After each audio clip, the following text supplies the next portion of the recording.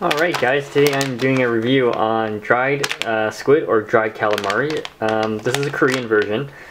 Now, people have been asking me, well, what can I snack on? Well, this is something you can look at. It's different than uh, beef jerky in the way that it is calamari, but uh, ingredient-wise, it's not the best. Uh, the calamari is fine, but it's what they also put in there. So, let's zoom in.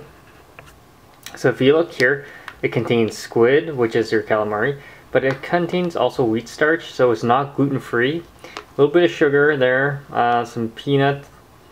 Uh, you also got some MSG, so not the most um, useful of ingredients in this Asian uh, uh product, but uh, like I said, it's something different than beef jerky. But let's look at the ingredients here. Uh, grams of sugar is only 2 grams per uh, 28 grams and this bag is 100 grams. So it's not a lot of sugar.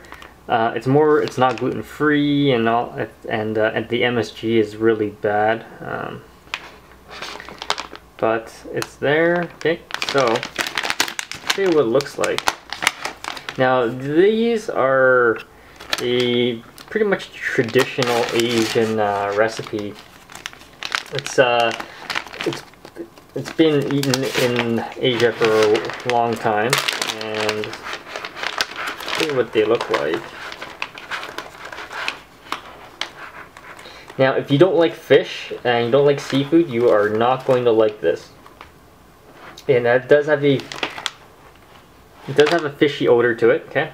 And that's the squid uh, that's dried up. And it tastes like a, uh, it's very chewy, uh, but it tastes like uh, it tastes like a little bit of fish, uh, very seafoodish um, type of taste. Um, so if you have any questions, comments, post them below. Don't forget to subscribe to the channel.